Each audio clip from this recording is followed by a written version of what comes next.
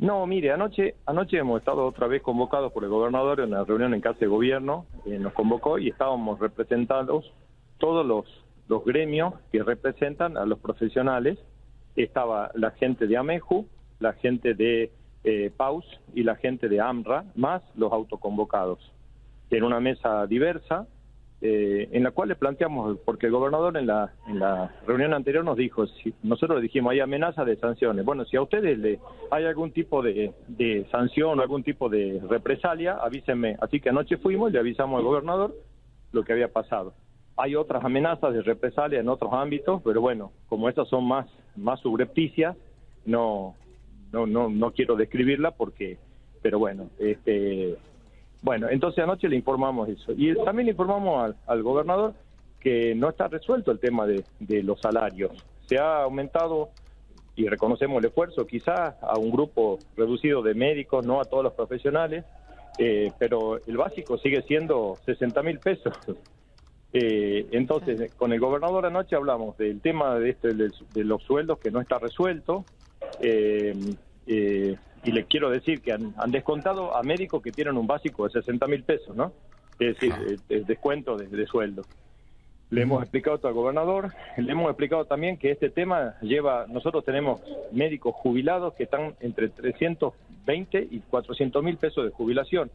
Y esto tiene que ver también con el, con el, con el básico muy bajo, es decir, se hacen los, los aportes jubilatorios, se hacen solamente sobre el básico. Y entonces eh, las jubilaciones son muy cercanas a la jubilación mínima. Médicos que han tenido eh, actuación destacada en esta provincia, eh, 30 años, 40 años de trabajo y tienen esta jubilación. También se lo hemos planteado anoche al gobernador, eh, que esto no, no, no puede ser. Este, tenemos médicos de 70 años haciendo guardia para poder comer. Claro. Eh, este, jubilado y facturando las guardias para poder comer. No, esta es la, esta es la realidad. Adolfo, este, ¿con quién fue la reunión anoche? Con el gobernador, en, su, en persona, solamente con el gobernador. Y estaban representados, como le digo, estos grupos que también le planteamos al gobernador, el ministro de Salud no los reconoce, no los llama al diálogo y no los reconoce como representantes de los médicos.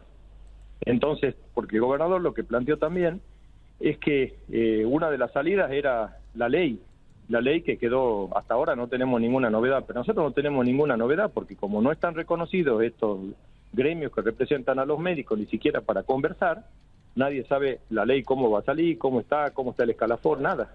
Entonces tenemos esperanza en algo que nos dice el gobernador, pero nosotros no tenemos conocimiento. Ahora, eh, cuando eh, hablan de la ley, ¿sí? Sí. ¿Cuál sería puntualmente el texto que ustedes están pidiendo? Mire, eh, la verdad que no sabemos porque no sabemos cuál es el texto definitivo. Esta fue una ley que el gobernador en el mes de diciembre nos dijo, yo mando a la legislatura una ley que me autorice a tener un escalafón especial para salud, para atender la situación particular de la salud. Esto fue una esperanza. Esto fue la primera reunión que tuvimos con el gobernador allá por el mes de diciembre. La de anoche fue la quinta reunión con el gobernador. Entonces él envió esa ley, la ley salió aprobada, le autorizó al Ministerio de Salud a tener un escalafón y desde por lo menos lo que sabemos hasta anoche el gobernador dijo no tenía el texto definitivo del escalafón. Y como a partir de ese momento el Ministerio de Salud excluyó a estos gremios que representan a los profesionales de la salud, es decir, no solamente a los médicos, también están incluidos los farmacéuticos, los bioquímicos, todos los profesionales de salud, que también eh, se han expresado, ¿no? Algunos de estos sectores respecto sí, a este. también a, anoche también le dijeron que habían recibido algunos algunos consejos profesionales mucho maltrato, uh -huh. eh, pero bueno, eso se planteó también. Yo no tengo conocimiento de eso, pero algunos colegios del, de, y consejos del arte de curar que fueron al ministerio se sintieron no no bien tratados. Oh, eh, así que nosotros no sabemos cuál es la ley ni cuál es el texto. No no se no, no no hay, no hay apertura, no hay diálogo con el Ministerio de Salud. O sea, ¿me equivoco si digo que eh, el Ministerio de Salud es parte del problema, no parte de la solución? Mire, en este momento el Ministerio de Salud, a nosotros pensamos que tendría que haber un diálogo, es decir, este diálogo que hemos tenido anoche con el gobernador, debiéramos tenerlo con el ministro. Lo que pasa es que el ministro dice públicamente que él reconoce solamente a los gremios reconocidos, que son UPCN, ATSA eh, y, y ATE, pero en ese en ese en ese en esos gremios no está representado el colectivo o por lo menos todos los trabajadores profesionales de la salud. Este, y en APUAP hay muy pocos, hay un grupo, pero no son todos. también, por supuesto, a APUAP también hay que convocarlo. Claro, claro. Eh, Adolfo, ¿cómo sigue esto después de la charla con el gobernador de anoche? Mire, esto es muy nuevo, así que todavía tenemos que conversar con el, con el, con nosotros todo se decide por asamblea, así que todavía no lo hemos conversado, pero nosotros pensamos que hay que trabajar en, en esto, en estas cuestiones. Es decir, primero, no está resuelto el tema de la, de los descuentos y de las apretadas a los distintos profesionales de la salud. No está resuelto el tema salarial. Seguimos teniendo un básico de 60 mil pesos. Nosotros planteamos que así a este paso íbamos a seguir perdiendo profesionales jóvenes. Eh, le hemos explicado.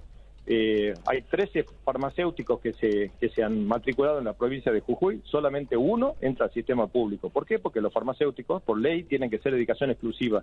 Y si el sueldo no es digno y atractivo, los farmacéuticos no vienen a trabajar a los hospitales. Es decir, este tema no está resuelto. Eh, hay un esfuerzo que se ha hecho por algún grupo de médicos, que también está bienvenido, pero, pero es un esfuerzo parcial y el básico sigue siendo un básico muy bajo eh, el otro tema que le planteamos en función de eso, el tema de la jubilación, el tema que le planteamos, el tema de la ley, que no tenemos acceso, ni diálogo, ni, comunicación. en el resto de las cosas que sacaron un comunicado y un video sonriente y bondadoso, este, en el tema del organigrama se retrocedieron y, cambiaron algunas cuestiones del organigrama, tampoco no sabemos cuál va a ser el definitivo, eh, pero estas son las cosas que siguen en, en problema y no tienen solución.